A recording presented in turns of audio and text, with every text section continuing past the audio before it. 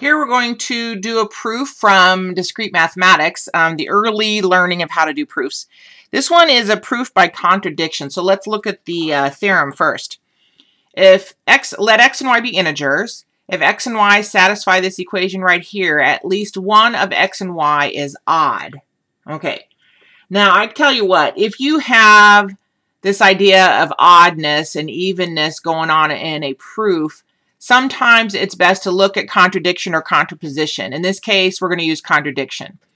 So if I want to prove that A is true or prove that at least one of X and Y is odd, I have to first start out that A, well, how does this say this? To prove A is true, show that not A is false. Okay, so I start out with the idea that not A. So that means that if I do not, that one of X and Y is odd, that this can't be true. So that creates a super uh, contradiction.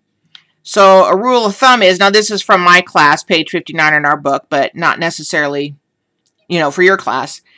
To prove a statement A by contradiction, this is how you begin your proof. Begin your proof with the following sentence.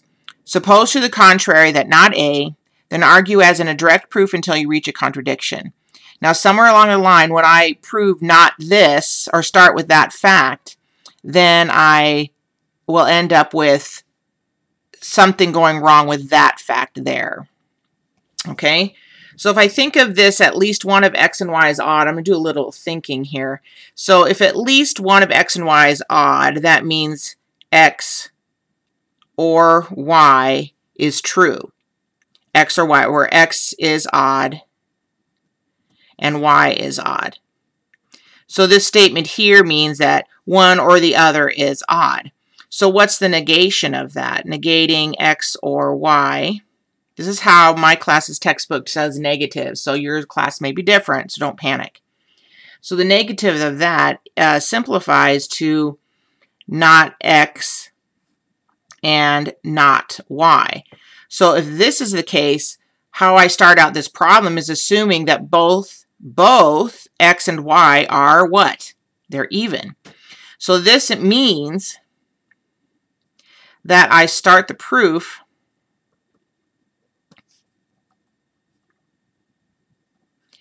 with x and y being even numbers. Okay, now notice I haven't started the proof. I've just started thinking about, okay, well, I have to think about what does it mean to do not that, okay? Not that. All right, so here we go. Here's the start of my proof.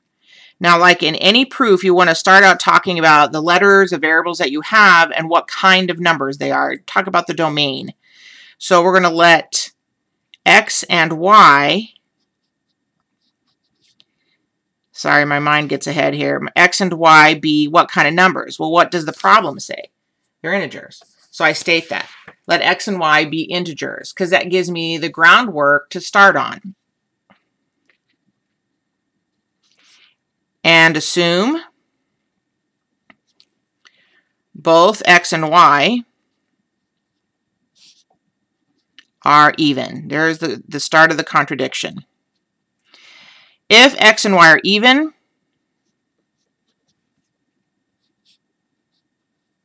I'm going to write down what does that mean. By definition, if x and y are even, that means uh, there exists integers k1 and k2 such that x equals 2 times an integer and y equals 2 times the other integer. And we don't know what those integers are, but that's okay. But this is what you do. You start out with what you're given, Assume what you're supposed to assume based on the fact that this is contradiction. And then use the definition of the fact that they're even to move forward. Just like in other proofs, we have this relationship that we know about. x plus 3y equals 153. So we want to show that this is not true as well. Because if this is not true and this is not true, then this whole statement is true. Or I guess, yeah, that's right. Okay, so let's start with uh, consider 3x plus 5y, and let's see what happens. So if I do my substitution, 3 times 2k1 plus 5 times 2k2, and uh, I'm going to simplify that a little bit, and I get 6k1 plus 10, sorry, 10k2. And uh, what what I'm going to do here, I notice that I can factor out, I could notice that here. I can factor out a 2 out of both, but I can write this as 3k1 plus 5k2, which is very convenient. Now, according to the theorem, this is supposed to equal, because x and y uh, um, share this relationship, according to the theorem, this is supposed to equal 153, but this is a contradiction.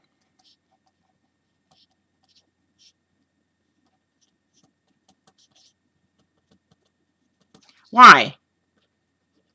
Because I can write 153 as 2 times a number, but I have to add 1 to it in order for that to happen. Well, I think we're all pretty clever. We know that 153 is what kind of number? It's odd. But here, this is stating that it's even. Because I have 2 times a number is an odd number. That's actually false. But there's your contradiction. Because 2, and I believe the number here is uh, 76, if I'm not mistaken. 2 times 76 plus 1 shows that 153 is not even, but in fact odd. So again, I'm trying to prove that if x and y satisfy that equation, then x and y is odd. So I assume not this, I assume both x and y is even. I plugged into this to show that it does not satisfy this, so there's where my contradiction occurs. So since I assume the opposite of this, and this is also false, I can then state that this is actually true due to logic of mathematics. So now I'm going to conclude. Therefore, and you can use the dots, I don't care, it's fine. Therefore, if x and y, oh, good heavens, if x and y satisfy 3x plus 5y equals 153, then at least one of x or y needs to be odd.